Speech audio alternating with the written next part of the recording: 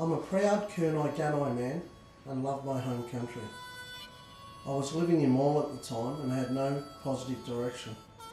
I was drinking most days and not working or going to school.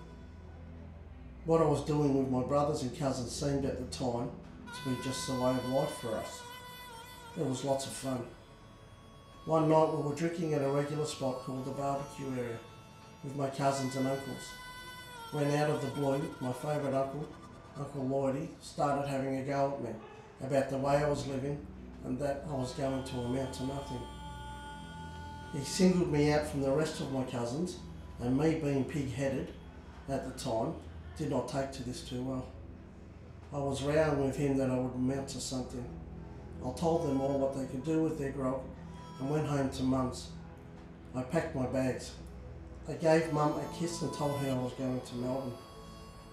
Before I could sober up, I was down on the highway trying to hitchhike. A cousin was with me at the time, but did not last too long. So I was standing alone on the highway when this truck pulled up. I watched the driver go and get a feed from KFC.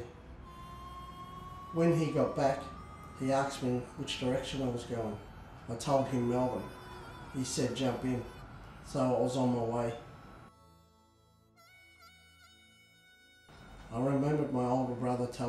If I ever went to Fitzroy that I should go to a pub called the Metropole.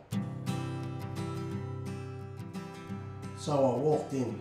The first fellow I seen was Kutcha Edwards. He took me under his wing from that time on. Looking back now, that night was probably one of the most important nights of my life. My uncle and I have spoken about this on plenty of occasions, often over a beer. I thank him every time I see him for putting me on the right path. I think about it where I would be now if that night had never happened.